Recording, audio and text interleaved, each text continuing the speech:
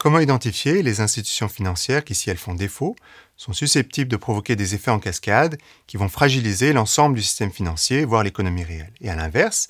identifier les institutions qui seront les plus fragiles en cas de crise économique. Si on change de perspective et qu'on adopte celle des institutions publiques qui vont intervenir en cas d'avarie sur le système financier, sur quelles institutions investir l'effort maximum pour éviter les effets de contagion?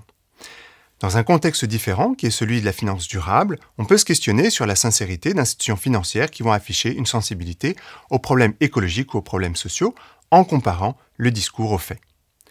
Alors ce sont là des exemples de questions que j'ai eu la chance d'explorer à travers différents programmes de recherche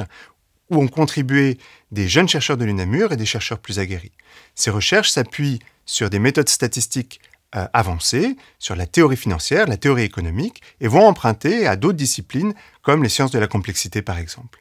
Ce qui me relie à mes co-auteurs et à la recherche de manière générale, c'est la volonté de m'inscrire dans une réflexion collective, c'est la volonté d'irriguer à travers ces recherches les discussions en cours sur les défis euh, principaux et cœurs euh, socio-économiques actuels, qu'ils soient liés à la fragilité financière ou à la transition de nos économies vers des modèles décarbonés ou à bas carbone.